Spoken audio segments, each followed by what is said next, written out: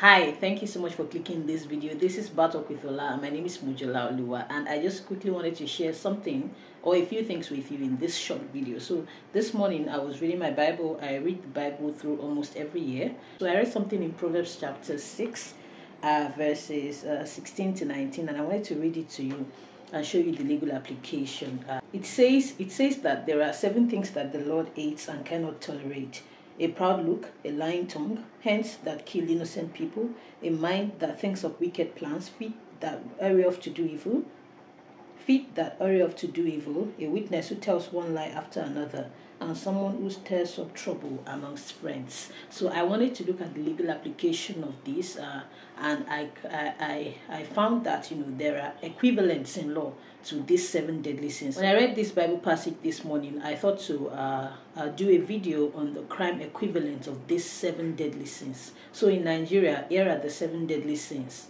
you know, in their crime equivalent. The first is a proud look. A proud look would uh, equal contempt contempt contempt of courts you know contempt outside the court. So anyone can fall victim uh, of uh, or commit uh, anyone can commit the crime of contempt. And it could be contempt in the face of the court or contempt outside of the court. I'm going to do a full video on that. I've done uh, i've done videos on some of these uh, crimes and i'm going to leave uh, a link to them in the description box but for those that i have not done videos on i'm going to do the videos and come back to this video and link them in the description box so i hope that you watch them so for the first deadly sin which is uh, a proud look we can find the crime equivalent in contempt. Second is a lying tongue. A lying tongue. I wanted to say perjury, but we'll get to that much later. For a lying tongue, we have uh, misrepresentation. Misrepresentation could be misrepresentation of facts or misrepresentation of law. So we're going to look at them, uh, these two, in another video. But uh, a lying tongue would be misrepresentation. Third is ants that kill innocent people, and that's murder. I've done a video on murder and the defense of provocation uh, when I talked about Shande and the state. I'm going to link it in the description box, but I'm going to do a full video, you know, on the crime of murder itself much later and link it in this video. So the third deadly sin is murder, hands that shed innocent blood. Fourth deadly sin is a mind that thinks of wicked plans, and that would be conspiracy.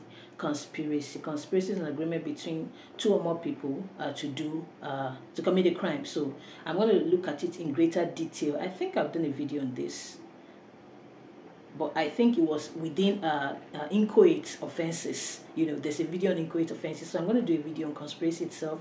It's a very important uh, uh, crime, so to speak, because most criminal charges in Nigeria carry the first charge as conspiracy, because uh, in most cases you have to conspire to do something before you actually do it, especially when it's a crime that's committed by more than one person. So we're going to do a full video on conspiracy. The fourth deadly sin in its crime equivalent is conspiracy. The fifth deadly sin is feet that hurry off to do evil, feet that hurry off to do evil, and that is uh, attempt. I've uh, linked it to attempt.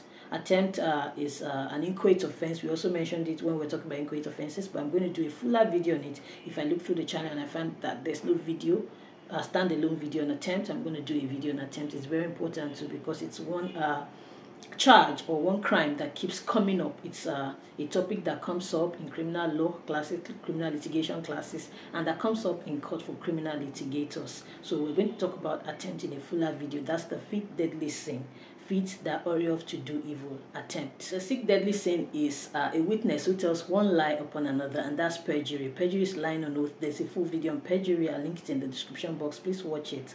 So that's the fifth deadly sin, perjury. Perjury means lying before the court, lying on oath, lying when you depose on affidavits, lying even when it's not on oath, misrepresenting and misleading the court or whoever is reading it, maybe the commissioner for oath or whoever is uh, endorsing the process to believe that the state of things are one way when they're actually the other way. So that's the sixth deadly sin a witness who tells one lie after another. And the last deadly sin, the seventh deadly sin, is uh, someone who stirs up trouble amongst friends. Someone who stirs up trouble amongst friends. And I've linked it to the crime of incitement. Also, it can be linked to agent provocateur. An agent provocateur is someone that provokes the other person to commit a crime in helping the state now so that they can be caught. But that's not a crime on its own because you're in most cases working with law enforcement. But there's already a video on agent provocateurs on the channel. Please watch it. I'll link it as well in the description box. But there is also a crime of incitement, which we're going to be talking about in fuller detail in another video on the channel. So these are the seven deadly sins and their crime equivalents in Nigeria. Make sure you run away from these things, these sins, these crimes because the Lord hates them and so does the law. I'll see you in my very next video. Don't forget to subscribe to this.